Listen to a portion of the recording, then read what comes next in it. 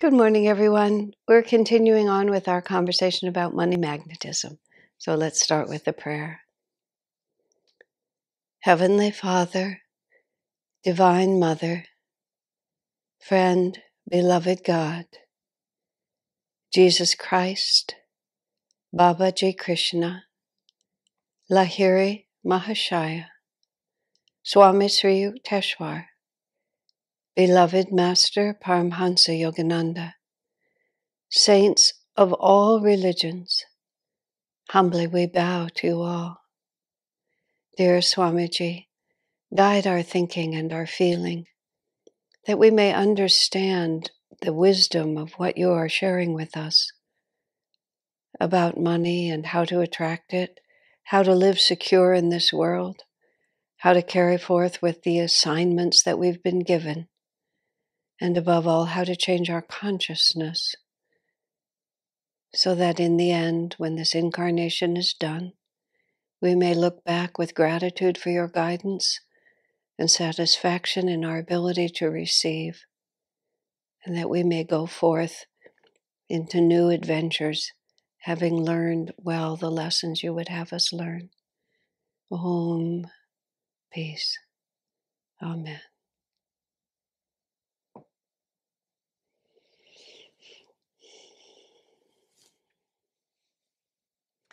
I have to realize in the context of this whole class, you know, I I can't really make a lot of adjustment for uh, people who have always been in, in truly impoverished circumstances. You know, in the in the course of of figuring out how to share master's teachings, you know, I have to decide who I can help. I have no experience with really being absolutely deprived my uh, level of experience and my understanding is from a sort of basic functioning level how to make what we're doing much more dynamic. I was remembering in the very early years of Ananda when we were all struggling a lot for um, just to make Ananda survive. And Swami always had a, a brilliant sense of money magnetism, and the rest of us were struggling along trying to figure it out in uh, all sorts of ways. And we we had an inclination to look toward other uh, other teachings because prosperity was a really big sort of uh, trendy thought at that time, and there were all these prosperity teachers of one kind or another, and different people were sort of drawing in all these different ways of doing it. And I remember uh, speaking to Swamiji in that context. I said, Swami, I just can't imagine that we need to go beyond our path for something as fundamental as as prosperity itself. Master has certainly given us enough, enough teachings.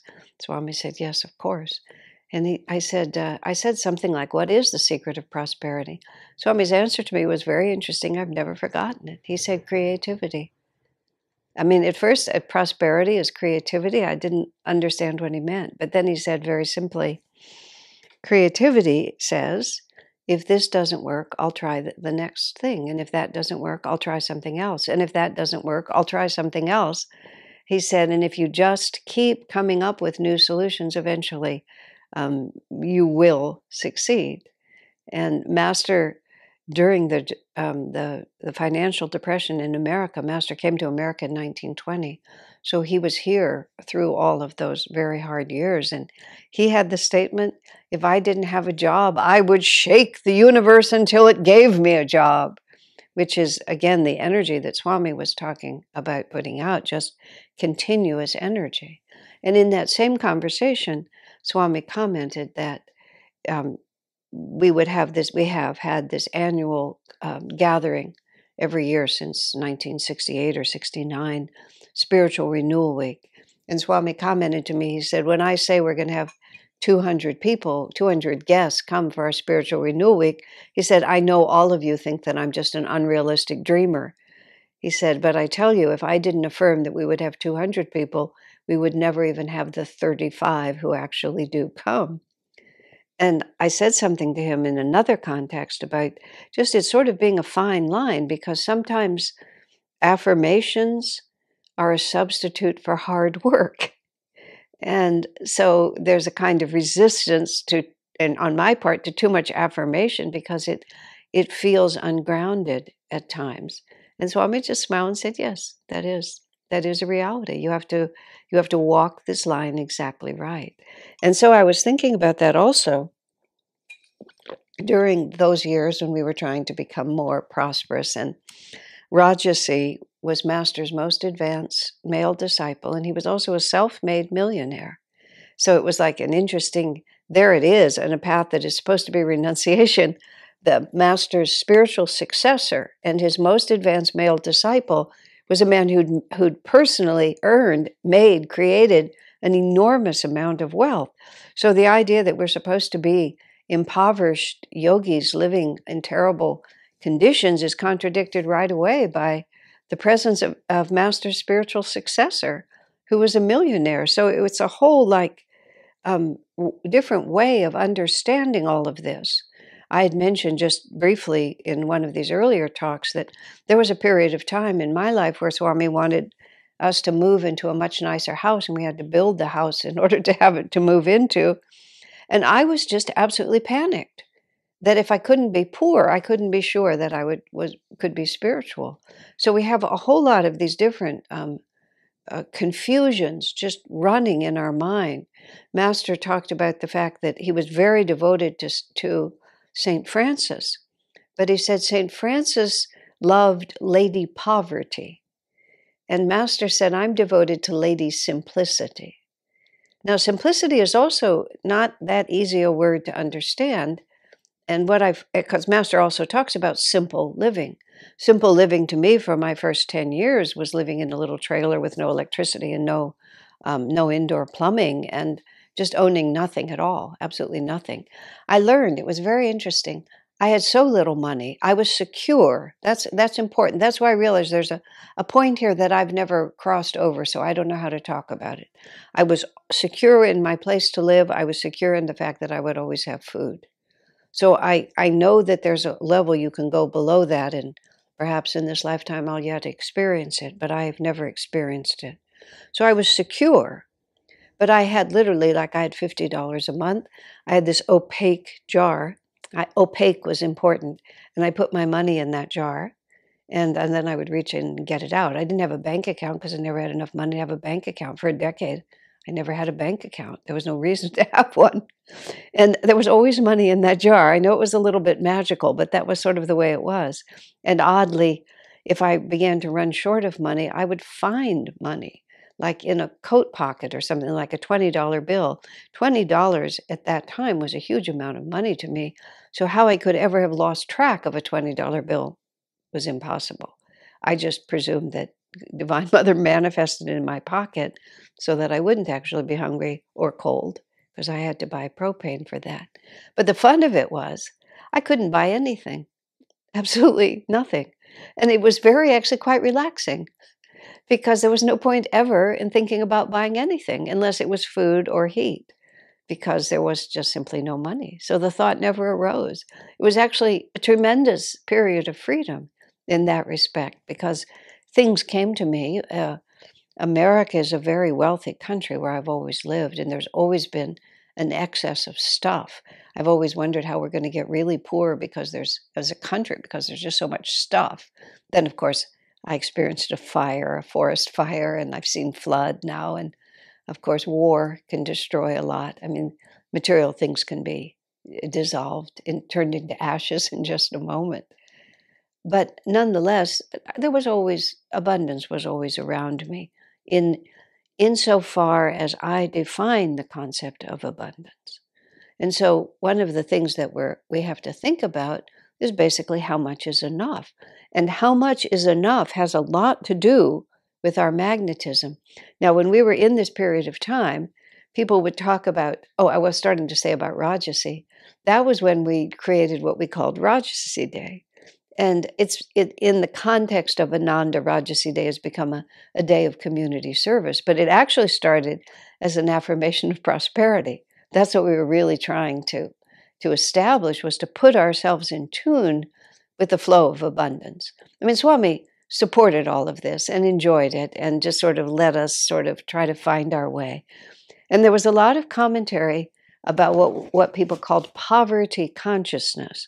And I, I never could quite relate to it because poverty consciousness was, it was sort of like the opposite of, of affirmation, of affirmation that I didn't necessarily, and this is just could be my prejudice, I didn't necessarily feel was well grounded. It was, well, we think we're poor, and now we'll think we're rich, and so maybe we'll be rich. But it actually occurred to me somewhere in there, and, and the, the, the vast majority of people at Ananda, because self realization is a path, as overall, self realization is a path for people who have the capacity to uh, succeed in the material world. And usually, I would say, have had that success in past lives and have realized that it, it does not bring the fulfillment we hoped for. And then, therefore, we're beginning to think about how we can transcend this material world. People who are who are just moving through the karmic cycle of learning how to operate in the material world and how to be educated and how to be effective in a profession and are, are, are appropriately developing those kinds of disciplines and abilities tend not to be drawn to a path that says all that you're striving for is worthless anyway. It's just that it, it doesn't it doesn't uh, appear on their radar screen is something to take seriously. You have to have already been through a lot of that kind of living. And in fact, a lot of people who end up being yogis have had great wealth in the past. I remember a, a, a very small incident, but it, it stayed with me. The family I grew up in, we were quite comfortable financially. My father was um, a hardworking man, and my, uh, my mother was frugal, and you know, between the two of them, they made a very nice and comfortable home for us. But we were not materialistic. It was just not the way we were raised, and we were more utilitarian than elegant in my family. So, as it happened, I I never had fine fine things at all. Although after my mother died, I discovered this beautiful set of china up in the closet that I think belonged to my grandmother. I never even knew it was there. I don't know maybe the children never saw it. Maybe my mother used it for other guests. But um, so I was I was visiting. I was with Swami at Ananda. We went to tea at a friend's house, a, a woman in the community, and she happened to have some very nice china teacups. And I picked up one of the cups and she gave me tea in it. It was a little cup and saucer. And it was quite possible that I'd never actually had such a thing in my hand before.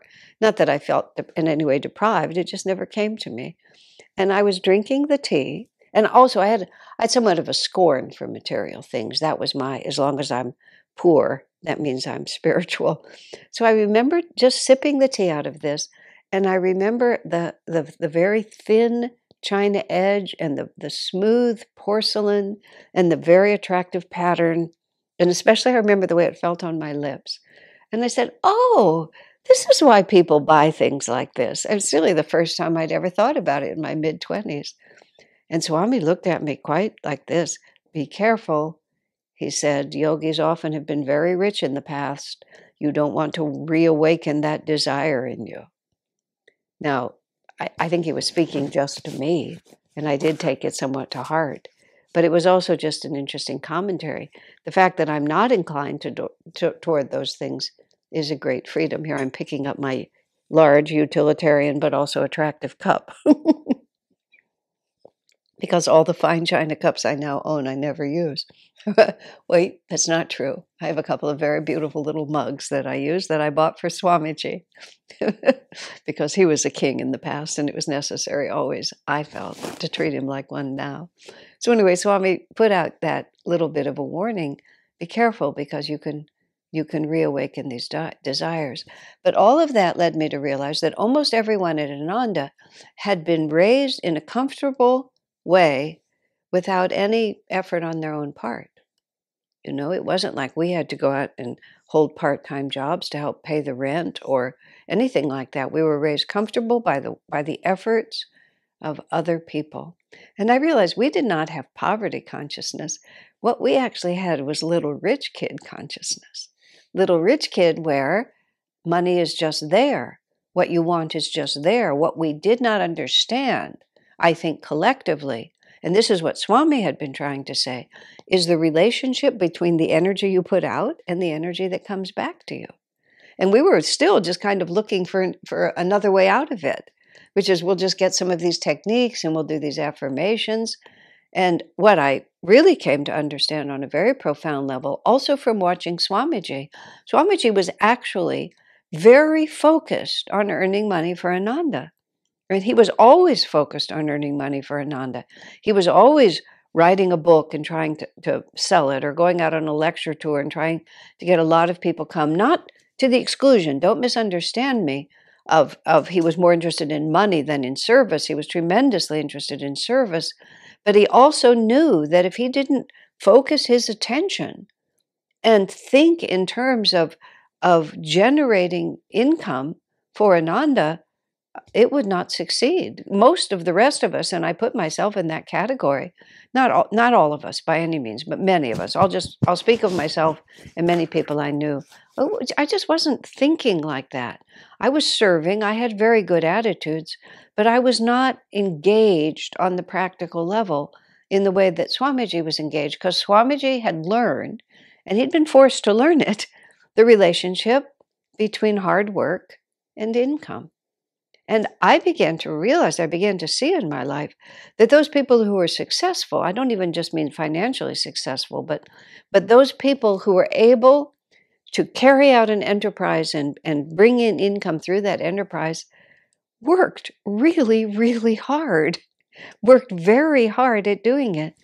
A friend of mine who had to earn his way through college, and he, he arrived he gradu- he arrived at graduation debt free and he talked about how different his relationship to his college experience was to most of the other students because most of the other students were being supported by someone else to go to school and they had no idea how much one unit credit cost. And he knew exactly how much a unit of college cost and he knew how many hours he would have to work in the summer just exactly what kind of job he would have to have to have that unit of credit. To him, it was not some vague mystery where you just show up and the bill is paid. The relationship between work and money was crystal clear in his mind. When we were starting our, our elementary school here, now we have we go all the way through high school, and we were sort of making a list of what do we really want these children to know when they by the time they graduate from our school. And one of the very important points was the relationship between work and money. Because we don't want to have the attitude of little rich kids where money just comes to us. We need to know. And so the um, um, even in our we, now we run a, a, a tuition based school in the Palo Alto area. So we are fortunate. We have very dynamic families. Um, and the families have to, well we have an we have a scholarship program where any student who really belongs to us is able to come. But nonetheless, we have a lot of families where um, they have been very successful in, in financial terms. And our middle school teacher especially felt it was extremely important for these children to understand the relationship between work and money. But sometimes he would actually have to dispute with the parents. Why should my child spend time earning money for the field trip? I can just write a check because the children need to understand that what they get is the relationship from the energy that they put out. So that's a very, very, very important attitude that really helps our magnetism. We don't want to be passive in this. We have to recognize that that there's an exchange, there's a magnetic exchange here. And it, it doesn't mean that we have to be obsessed with money, but it means that we have to be willing to be very dynamic in our relationship. And this is what we're going to go into as we go through the book in our attitudes of service and our attitudes of creativity. Just where Swami says the secret of prosperity is creativity, which is that we just keep trying. And when he was starting Ananda, he, he just kept trying. Swami had a very interesting, absolutely defining reality, though. Swamiji had been a monk in Self Realization Fellowship. He'd been a monk for 14 years. Um, at the time that he was 30, when he was 36, he found himself completely on his own. He was exiled um, from, by, from all his friends. He was separated from basically every person that he knew who was important to him. He had effectively no money. He had a few hundred dollars. That's all he had. He had no possessions, no property. He was living in the spare bedroom of his parents' house. But he had given his life to serving God. Now, Swamiji is an absolute renunciate. This is not necessarily, as Swami himself said, the right way for everybody to live but it was absolutely the right way for him to live. He felt he had given his life completely to God. His life was dedicated to serving his master's work. So now that he was outside of the monastery and outside of the support of that organization, that essential commitment of his did not change. And as the years went by, and it took a few years before he found his path in the founding of Ananda, buying property, building buildings, publishing books, you know, developing a retreat, attract, attracting all of us who were going to help make this happen. Swami never stepped outside of his service to Master. And every uh, dollar that he generated, which was hundreds of thousands, millions, I'm sure, by the end of his life, he, he, he, he acquired it by spreading the teachings, writing books, singing songs, publishing albums, giving lectures, giving class series. The only thing he ever did that was not directly in that was that he actually took a job for a few months with the Peace Corps to help train young people who were going to India because he thought he could help them relate to the culture. And when I said to him, I said, Sir, as far as I can tell, that's the only exception. He said, Yes, but at the time I, I, I thought it was consistent. I thought I could serve Master's work by introducing these people to the Sanatan Dharma, and then they would go to India with greater appreciation. It didn't turn out that way. Or he, he wasn't able in the mainstream of his work to do that. He actually did interest in an extracurricular way, some of the people who were going. He said, But if I had known how it was going to work out, I would never take, have taken the job. So he was absolutely loyal to his first cause. And so his energy was, but he worked. It's not that he didn't work. He gave classes five nights a week and on the weekends went up to the land he was buying and gave retreats and wrote books in between. It was he he worked. He put out tremendous energy and he didn't um, he never thought that the universe owed him something but he believed deeply that if he put out the right kind of creative energy, then that would create the right kind of magnetism that would bring to him what he needed. But he also he wasn't trying to acquire money for its own sake. He was acquiring money for the sake of a flow of serviceful energy that he thought he could put forward. Now, what we get into is let me just try to think how to say this. Um, uh, in, well, well, and this is this is sort of like a the next chapter that we're going to talk about is what what is true security? Where does true security come from? And Swami Swami has, talks in the introduction to this this first chapter of the book. He just talks about people who who never have enough. No matter how much they have, it's never enough. Because if we're trying to get our security from hoarding money, we, we essentially we know in our own hearts that there's no security there because it's just a thing. It can't provide us with a feeling. And and the that very gesture, well, my friend uh, Kraig Brockschmidt, Satya Satyaki is what his name is now. He wrote a memoir about his own uh, life. And he took very early retirement from the tech industry because he got in at such a point that he became quite prosperous quite early. And when he eh, subsequently he went back to work, I believe, if I'm representing him accurately, because he enjoyed the work. but he he had the phrase which I really enjoyed, which is he realized that he had become an enoughaire. we usually think of a billionaire or a millionaire but he realized he'd become an enoughaire. he had enough. And so, what we have to ask ourselves all the time is how much is enough? And how do we define what enough is?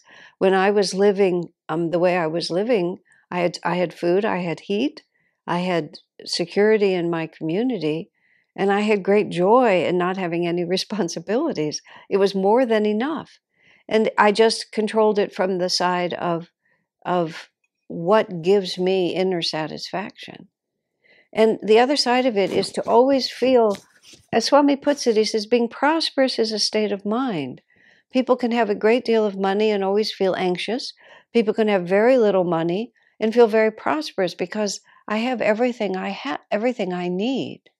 And one of the, the the magnetic keys to having the flow of energy be proper is to realize that what what I'm I, what I want is to be able to live simply and that doesn't necessarily mean in an impoverished way, but I need to just simply have what I need to be able to do what is necessary for what God has asked me to do. And and how much how much that is is not a question of what you have outside of yourself, but how you're feeling inside your heart.